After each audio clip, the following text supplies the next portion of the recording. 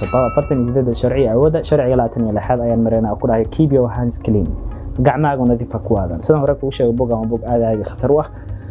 Sababtuna waxa weeye bogan wuxuu ku tusaya waxyaaba fara badan nolosha aadan ka fahansaneyn ayuu kuu sheegaya khaasatan markay timaado dhanka madaxda iyo awoodda markay timaado waxyaaba fara badan aadan fahansaneyn ayuu kuu sheegaya. Sida sharcigan kale wuxuu ku leeyahay sharciga labaatan iyo lixaad keep your clean gacmahaagu nadiifa ku ahaadaan mar ma isweydiisay matalan baad qof intuu madaxweynaha hor yimaado uu caayo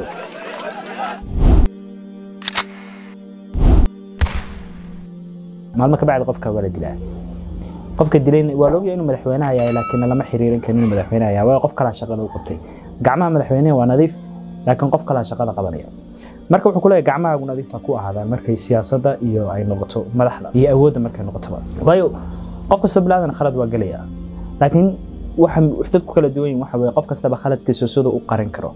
Waayo haddaad maanta raaligelin aad bixisid wax lagu aqoonsan kara inaad tahay qof daacada oo khalad uu sameeyey ka xumaanaya ka shalaynaya laakiin hadday raaligelintaadu badato dadku kalsoonida badan ay kuu qabeen hoos ay u dhacaysaa cid ku aaminaysa ma laha cid madax kaa dhiganaysana ma laha.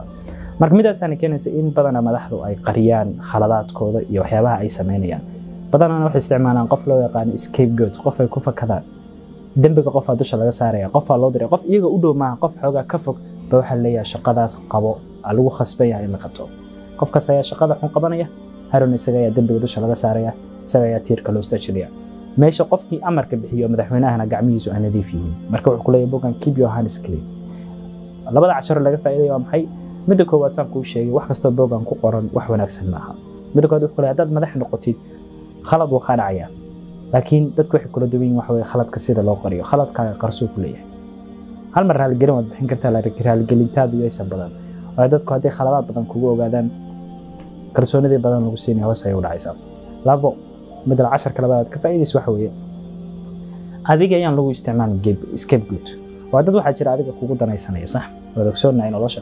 Qofa shaqo ii qaba ku dhahay. Marka waxay isweydiisaa qofkan intentionkiisa muxuu ka damacsan shaqadan adiga uu ku dirsaday?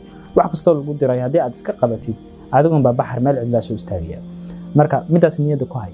Qof kastoo aad banaanka ku arkaysid maaha qof wanaagsan. Dadku waxay leeyihiin intentions iyo waxyaabo kala duwan ayay damacsan yihiin. Marka scapegoat adigaan lagu isticmaalayn markastana gacmahaagu nadiifa ku ahaada intaas waxaa sharku baraya. Asalaamu calaykum